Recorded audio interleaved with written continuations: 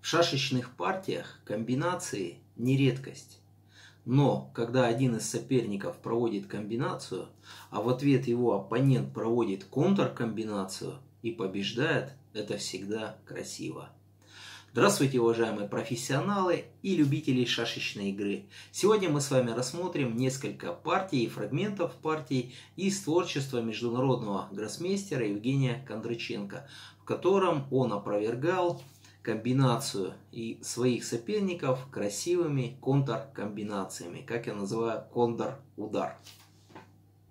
Друзья, рассмотрим партию Кондраченко Худой Назаров, сыгранную э, на Гамблере в 2022 году. ЕФ4, ДЕ5, обязательные ходы и черные бьют на С5.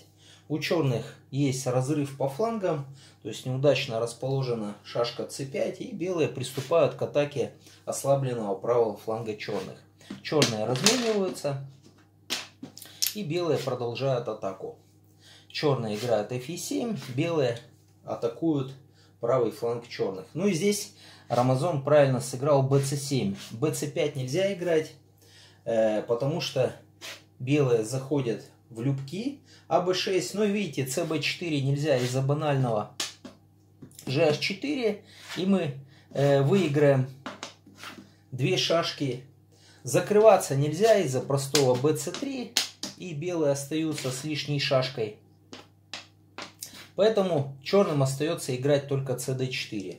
Ну и здесь белые могут провести сразу два разгромных удара под названием присоска. Можете поставить видео на паузу и попытаться найти комбинацию за белых. Можно выиграть ходом bc3, ну и как бы черные не били, они проигрывают. То есть если бить сюда, то белые бьют на c3 и затем играют cd4. И либо попадают в дамки, либо остаются с лишними шашками. Ну, в этой позиции можно выиграть и другим образом. То есть сыграть fe3, ну и как бы черные э, не побили, все равно белые остаются с лишней шашкой. То есть если черные бьют сюда, тогда проводим вот такую комбинацию с выигрышем. Если же черные бьют на поле c5, тогда играем вот таким образом. Ну и такой своеобразный тычок получается выигрышем. Данный способ выигрыша указан украинским шашистом Валерием Гребенкиным. Поэтому Рамазон верно ответил bc7. Белые играют bc3 и черные размениваются назад, пытаются немножко уменьшить их переразвитие. То есть, видите, у черных центр, но их центр рыхлый, плюс э, у черных застряла шашка на поле h8. Белые продолжают развивать свой сильный левый фланг, черные подтягивают свои шашки ближе к центру. Белые окружают, так, прошу прощения, dc7, белые окружают позицию черных. Ну и так постепенно черные попали э, в очень плохое положение. Не знаю, честно говоря, как тут уже играть. Очень плохая позиция. Черные пошли gf4. Белые ответили gh4. Точный ход. Ну и в ответ на ход э, bc5 белые сыграли fg3. Черные сыграли cd4 и белые сыграли gf2. Черные увидели, что здесь могут провести э, симпатичную такую комбинацию интересную. То есть они отдали одну шашку, затем еще две, и затем зашли в любки. Ну и кажется, что белым пора сдаваться. То есть, э, как играть непонятно, но Евгений нашел здесь красивую э, контркомбинацию, кондор-удар. Можете поставить видео на паузу и попытаться найти контур-удар за белых. Белые играют АБ6. Ну, какую бы сторону черные не побили, белые выигрывают. То есть, если черные бьют шашкой Е3 на поле А7, то белые просто размениваются на поле С5 и остаются с лишней шашкой. Если черные бьют шашкой c7 на поле e5, то после всех разменов белые остаются с лишней шашкой. Если же черные бьют на поле g1, тогда белые бьют в дамки. Ну и, друзья, видите, на поле c5 нельзя бить из-за того, что белые пожертвуют дамку, поставят рожон. Если же черные бьют на поле а7, тогда их дамка тут же ловится. То есть белые играют bc5, ну и как бы черные не били, они здесь быстро проигрывают. То есть дамка оказывается в западне. Вот так Евгений выиграл своего сильного соперника. Следующая позиция взята из анализа, э, который э, проводил Евгений. Э, в этой позиции можете поставить видео на паузу и попытаться оценить последствия хода. Можно ли, друзья, играть EF4? Попытайтесь оценить последствия этого хода. Кажется, что после EF4 черные сыграют FG5, ну и как бы белые не били, черные окажутся на поле C1, то есть белые проиграют. Но все-таки оценив все последствия, белые играют EF4. Ну, черные тут же проводят комбинацию, и неожиданно выясняется, что белые здесь все-таки побеждают. То есть бьем именно шашкой H4 на поле B6. Теперь черные вынуждены бить на поле c1.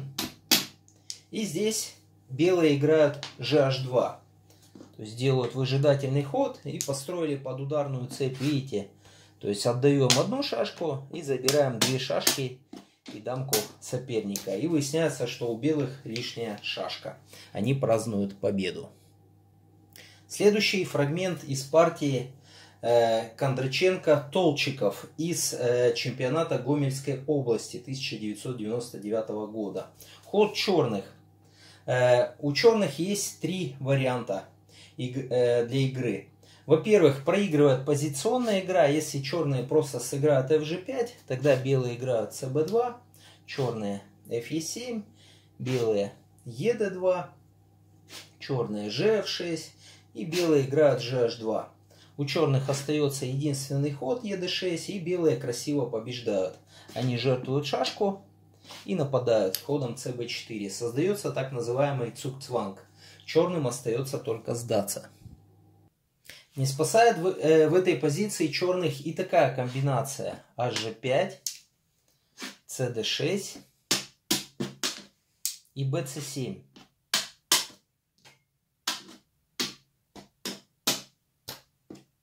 Черные вроде бы прорываются на придамочное поле, но у белых слишком много шашек, и они побеждают. FG3. Надо ставить дамку. Теперь э, белые играют GF4. Ну и в ответ на постановку дамки играют GH2. То есть они построили петлю для поимки дамки. Ну и если черные отходят, допустим, на поле А5, тогда их дамка все равно ловится. То есть отдаем одну шашку, затем еще две. И белые побеждают за счет лишней шашки. Черные рассчитали последствия всего этого и провели поэтому другую комбинацию. Отдали одну шашку, затем вторую, затем еще две и побили на поле Е5. Белые обязаны бить на поле С7 и черные красиво забирают 4 шашки. Вроде бы кажется позиция ничейная, но белые предусмотрели небольшой, но симпатичный кондор-удар. Белые играют GH2, затем FG3 и легко побеждают. Ну и, наконец, самое красивое. Э, это партия Кондраченко-Никифоров из э, Блица на Гамблере в 2011 году.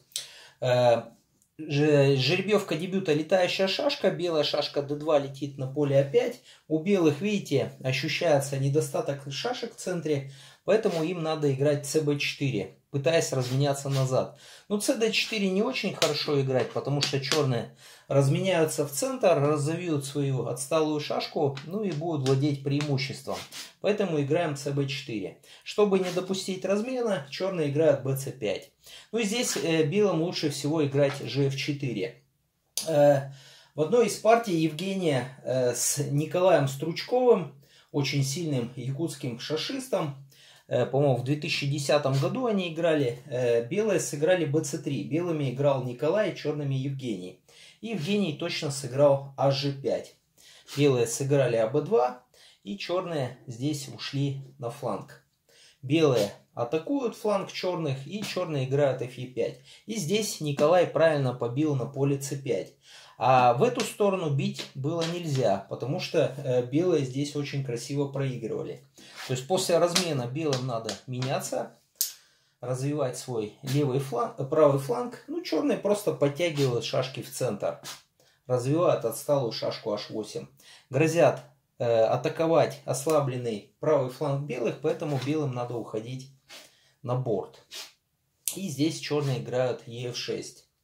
Э, белые играют bc3 и черные э, осуществляют так называемый самозажим своего э, правого фланга. Этот прием бывает очень полезен в некоторых позициях, например, как это. Белые жертвуют шашку и играют de3. То есть белые хотят следующим ходом, несмотря на лишнюю шашку, выиграть. То есть они хотят связать ходом cd4 правый фланг черных и несмотря на отсутствующую шашку, у них будет выигранное положение. Поэтому э, черные играют э, fe5. Видите, de3 нельзя играть. Э, ед4, вернее, из-за того, что черные сыграют de5 и отыграют шашку. У них шашка лишняя, поэтому они здесь выигрывают. Поэтому белым приходится меняться назад. Теперь черные уводят лишнюю шашку на борт. И белые продолжают свой э, план DC3, DE7, CD4, EF6, ED2, DE5, DC3. Кажется, что э, план белых победил, черным остается только сложить оружие, но здесь у черных есть очень красивая комбинация. Можете поставить видео на паузу и попытаться найти ее. Сейчас развяжу, разверну вам доску для удобства. Поставьте видео на паузу и не двигая шашки попытайтесь найти выигрывающую комбинацию за черных. Впервые эта комбинация была осуществлена шашистом Лисенко еще в далеком 1929 году. Черные играют cd6, жертвуют одну шашку. Затем играют fe7, жертвуют еще одну шашку. И проводят вот такой симпатичный удар, комбинацию. То есть попадаем в дамки и продолжаем бить уже как дамка. Получается даже двойная комбинация. То есть первый удар и еще второй удар. Очень красиво. Но вернемся к партии. Э, Евгений, играющий белыми против э, Дмитрия Никифорова, верно отвечает GF4. Черные играют F5, атакуют э, правый фланг белых. Белые закрываются. Черные играют GF6. Но ну, здесь можно играть либо BC3, либо CD2. Более интересный ход на игру, так скажем. Черные играют HG7 и белые играют BC3. Ну и в партии черные ошиблись. То есть они подумали, что выигрывают. На самом деле в этой позиции уже надо было меняться вот таким образом. Ну, в принципе, с более приятной игрой у черных. Черные же решили, что побеждают и сыграли АБ6. Ну, действительно кажется, что после хода GH2 черные играют B7, ну и белым практически некуда ходить, можно сдаться. Но здесь белые неожиданно побеждают. Они играют АБ2, и здесь уже у черных единственный ход. CD4. Ну, естественно, FG5 нельзя из-за GH4, и белые попадут в дамки. ED4 э, нельзя из-за банального FG5 и белые останутся с лишней шашкой. То есть у черных остался единственный ход, CD4. Ну, кажется все равно, что у белых очень плохая позиция. Но белые здесь побеждают. То есть размениваемся таким образом.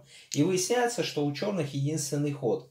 То есть надо проводить комбинацию, связанную с ходом FG5. Ход FE5 здесь уже проигрывают шашку. Из-за стандартного приема, который полезно запомнить. То есть играем HG5.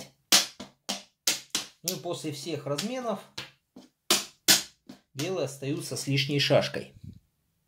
Поэтому черные здесь э, провели комбинацию. Они сыграли FG5.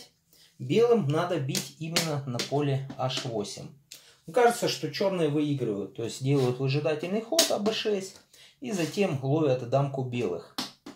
То есть черные провели комбинацию. Ну, естественно, в эту сторону бить плохо потому что белые сыграют dc3, затем cd4, ну и дамка черных будет поймана, им придется сдаться. Поэтому черные бьют именно на поле c1. Но это знаменитая концовка э, чемпиона мира Исера Купермана. Можете поставить видео на паузу и попытаться найти выигрыш за белых.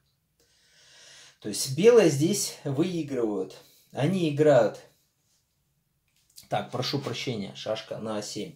Э, белые здесь выигрывают. Можете поставить видео на паузу и попытаться найти выигрыш за белых. Белые играют bc3, черные бьют. Затем играют ед2, черные бьют. И играют cd4. Поймали дамку черных. Ну и выясняется, что черным просто некуда ходить. То есть им надо отходить на поле Е3, иначе белые выигрывают. Но здесь получается очень красивая цепочка, так называемый прием. То есть, видите, черным мешает своя же собственная шашка на b6. Если бы ее не было, то черные достигли бы ничьей. А здесь выигрывают белые. Друзья, давайте воевать только на шахматной доске.